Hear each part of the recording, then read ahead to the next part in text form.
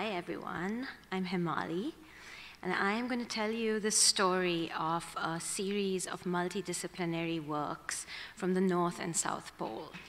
In 2017, I went to the Svalbard archipelago off the coast of Norway and the Antarctic Peninsula on a research expedition.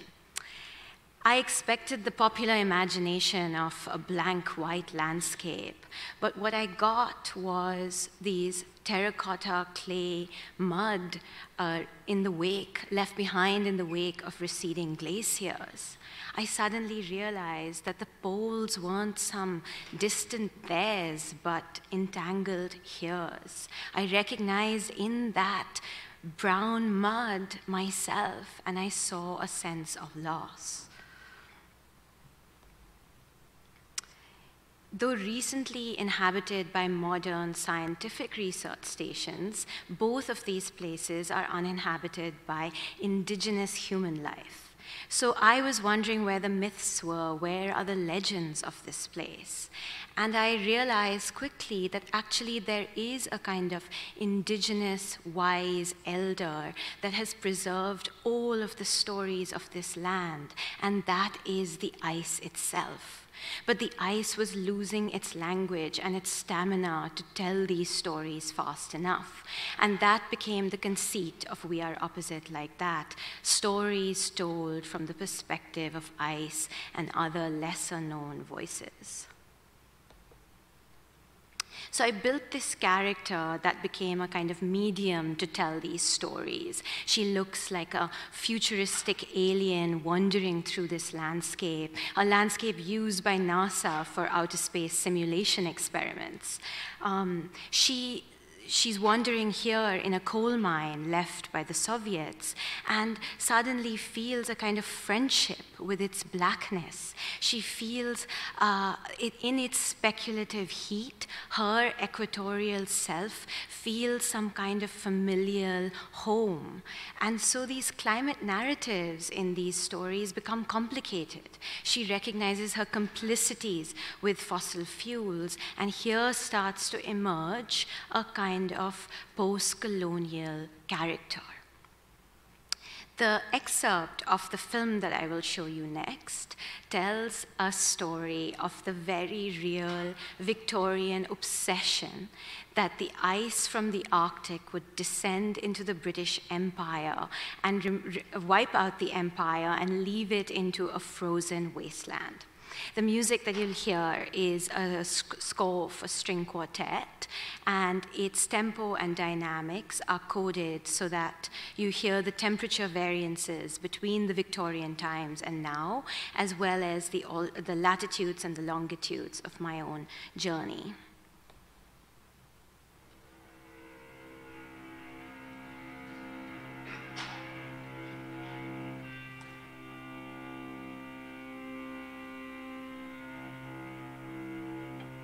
Clear inverted mountain floating above the horizon.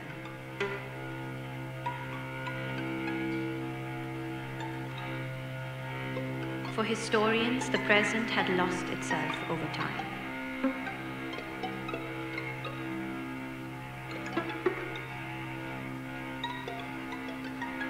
There were no shadows, echoes of no surface.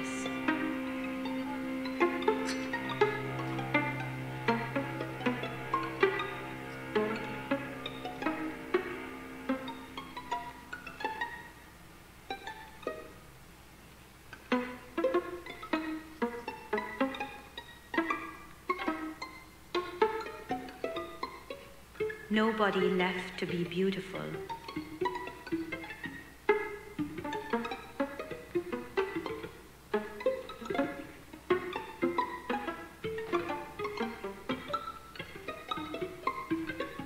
The ghost of what was to come singed.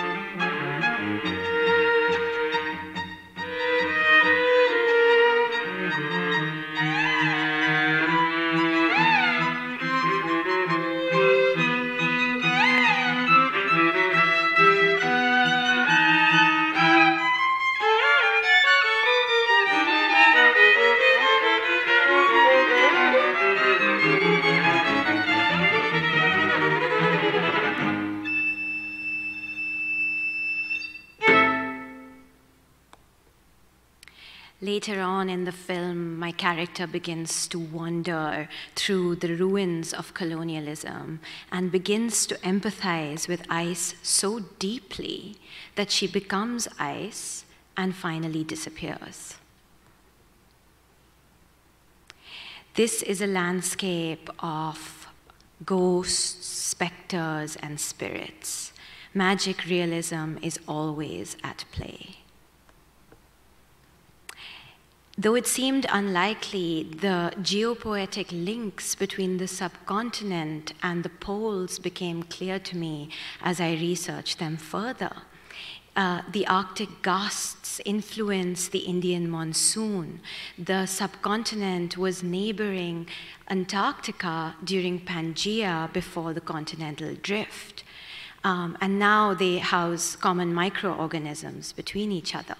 So subcontinentment came out as a kind of South Asian futurist manifesto, using the materiality of ice to posit joy despite the strife, to uh, to uh, propose the possibility of narrative still for us, even in the South. Subcontinentment is anti extinction. It proposes radical survival, inhabiting the architecture of loopholes.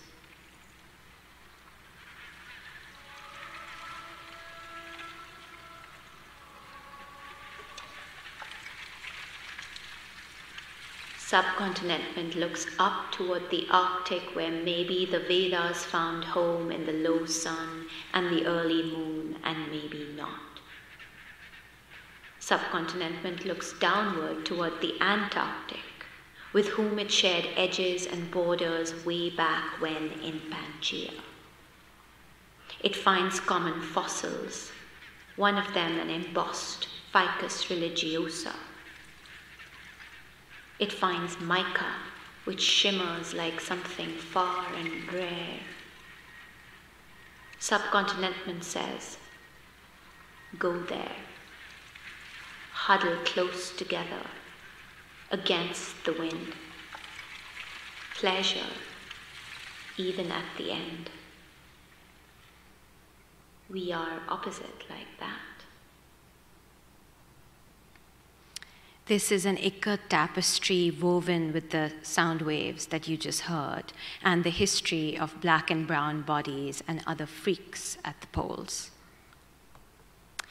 The almanac then kind of becomes a culmination of all these stories. It starts both ways and ends in the middle, and is a messy collection of missing paraphernalia from the archives, its false philosophies, made up maps, astronomical observations, astrological readings, theories, recipes, small resistances. It uh, tells the story of an amazing colonial endeavor of British mining marble and then the permafrost evaporating and the marble turning to dust. It tells the stories of unrequited love, of how the aurora borealis might look like writing, of the, uh, the history of a Caribbean slave on the bow of the boat, the history of hybrid beings and freaks in Antarctica. It tells the story of how the only only backup plan that the world had for an apocalypse was the seed bank in Svalbard that contains all the seeds from every nation in the world. And while I was there, it flooded. It tells the story, how to start, startle the unbelieving, tells the story of uh, how the British Empire used a 13 year old clairvoyant girl from Calcutta to travel to the Arctic with her mind in search of Franklin and his lost men. There's only a single archive from the 1850 left of her, and this was an erasure and an attempt to give her voice.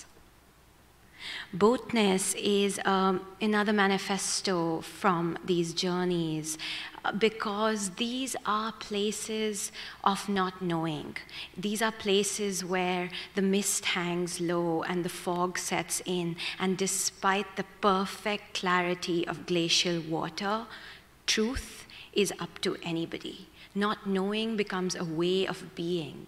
And boatness became a way of thinking about how we might use a kind of feminine intuition as a critical method. It, um, in a way, it also thinks about how when uh, different kinds of knowledges. So, how when first the chronometer fails, you look up at the stars to know directions. The stars are clouded over, so you look uh, and you listen to your kidneys. It becomes a way of accessing knowledge through different modalities.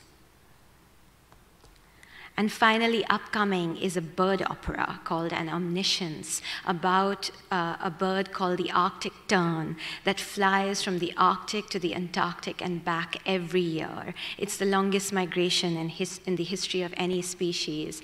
And in its lifetime, it makes a trip to the moon and back three times, equivalent of. Um, and this opera becomes a way of thinking about wind and horizons and air and circulation, uh, a manifesto about drifting as a way of getting to our goals, um, moving with the divergences. Um, and it also makes us think about collectivity and flocking. Uh, something that we are opposite like that has depended on so many amazing musicians and dancers and historians and botanists. Um, and uh, and then I guess upcoming is me thinking after you go to the poles, where do you go next? You go home. And home is the Himalayas, after whom I'm named as well.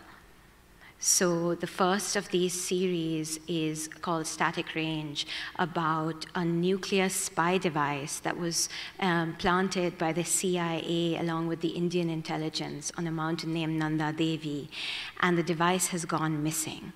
It's also a series of interdisciplinary works that uh, move between epistolary exchanges, um, bioremedic planting, healing, um, videos, sound, tapestries, and ceramic. As grand as what is a series of rituals in the Himalayas um, to regain the kind of center uh, of the earth chakras. And finally, there's the little pocketbook of ancestors, of deities that have been left out of the Himalayan canon and still protest the same voice of ice, in some ways saying, Listen, we must insist on this language. We are the language that lasts and the language that could bring us together to a different kind of future. And ins- insisting on the, their agency and their stories, we can say perhaps they are the thing that sustains while the new love comes. Thank you.